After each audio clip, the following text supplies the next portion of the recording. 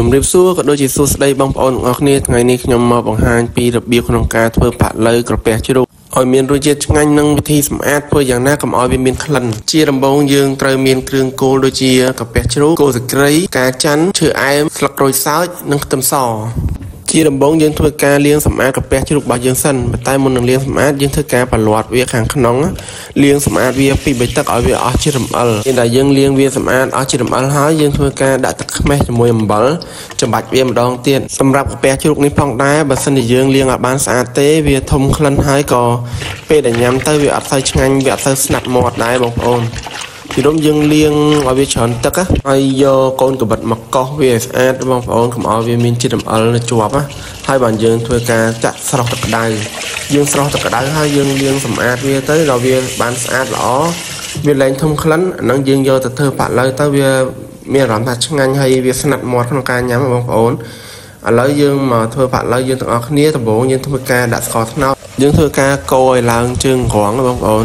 បន្ទាប់មកបានយើងធ្វើការដាក់ផ្កាច័ន្ទជាមួយនឹងឈើអែមគល់សក្រីស្លឹកក្រូចសើចជាមួយនឹងខ្ទឹមស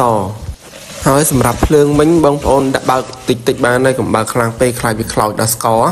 បន្ទាប់មកយើងធ្វើការដាក់ជាមួយនឹងទឹកស៊ីអ៊ីវខាប់យើងកូរវាឲ្យឡើងឈ្ងុយហើយបានយើងធ្វើការដាក់កាពះជ្រូករបស់យើងចូល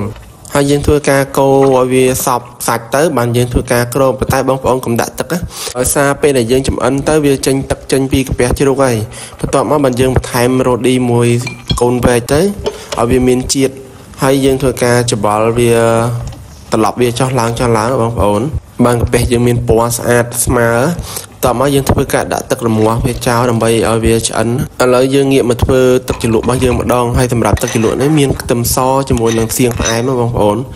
យើងធ្វើការដាក់ខ្ទឹមសជាមួយនឹងសៀងផ្អែមហើយបន្ថែមជាមួយនឹងទឹកផាក់ឡូវរបស់យើងបន្ថែមជាមួយនឹងប៊ីចេងបន្តិចជាមួយនឹងស្ករបន្តិច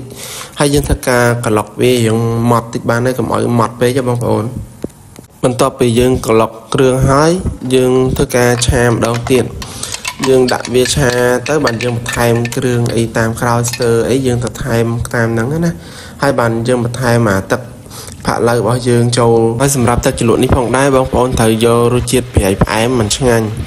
យើងធ្វើការកូរវាយើងដាច់ទឹកតិចទៅបានឆ្ងាញ់បើបើកម្របមើលផាក់ឡូវរបស់យើងសិនតាមវាឆ្អិននៅយើងយកសមចាក់បងប្អូនបើសិនជាវាផុយចាក់ទៅធ្លុះ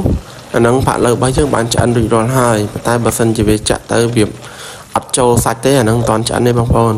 ឡូវផាក់ឡូវរបស់យើងបានឆ្អិនរួចរាល់ហើយក្នុងការធ្វើផាក់ឡូវកាពះជ្រូកបើកាលណាបងប្អូនលាងសម្អាតអត់បានស្អាតទេគឺញ៉ាំទៅអត់សូវឆ្ងាញ់ទេបងប្អូនវាធំក្លិនណាហើយណាមួយពេលដែលយើងញ៉ាំទៅក៏វាអត់សូវស្និទ្ធមាត់ដែរចឹងយើងត្រូវការលាងសម្អាតវាឲ្យបានច្រើនទឹកលាងសម្អាតជាមួយនឹងទឹកខ្មេះមួយអំបិលហើយនឹងចាក់ស្រោះជាមួយនឹងទឹកក្តៅឲ្យអស់ជាតិអំបិលបានវាអត់ធំក្លិន ឥឡូវប៉ានៅផ្ទះជ្រូកយើងបានធ្វើរួចរាល់ហើយតោះបងប្អូនឥឡូវមកញ៉ាំជាមួយខ្ញុំបងប្អូនគ្នាតែមុនញ៉ាំយើងដាក់អាចាក់ជាក់មួយសិនណាបងប្អូនហើយយើងចាប់ជាតិជាមួយគ្នា